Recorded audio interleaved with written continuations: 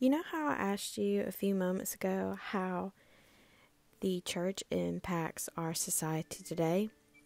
Well, we're going to talk about how the church impacted the society in medieval Europe. So, the church is still around today, but it's not nearly as powerful as it was in the Middle Ages. Um, this is okay. So, if you think about how people respect the Pope today, which is fairly highly. They think very highly of him. He's very holy. They people come from miles and miles around to come see him. We'll multiply that by a hundred, and then you might have a taste of how important the Pope was and religious figures were figures were in the Middle Ages. The leaders of the church pretty much ruled the world in the Middle Ages.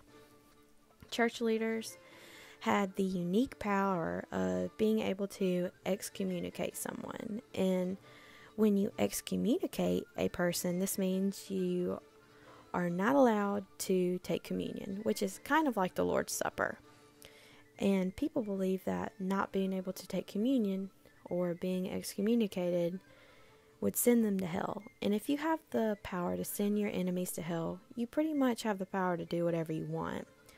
And because of this, people feared the church.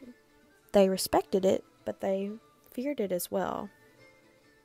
Uh, this let the church control the politics of the time, the reading, the knowledge.